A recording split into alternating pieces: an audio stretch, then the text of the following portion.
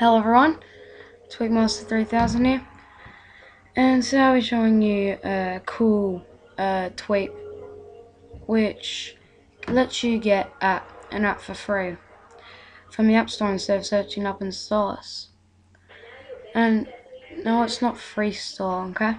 But look, it's called Quick Open. Alright, so it's a bit buggy at the moment, but I'll just show you.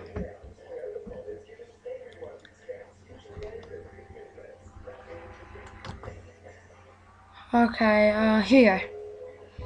So that game was Lane Splitter.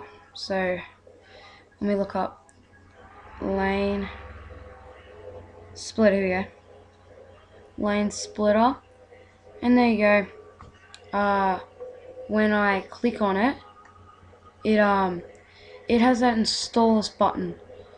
Okay, so it, some it says other things sometimes, but yeah. So when I click install this, opens up Installous.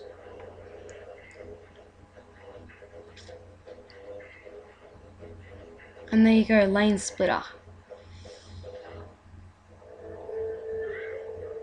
And so yeah, it's just a cool tweak. Um, instead of looking on the app store then searching on stores. So thanks for watching. Comment and subscribe. And see you guys later. Bye.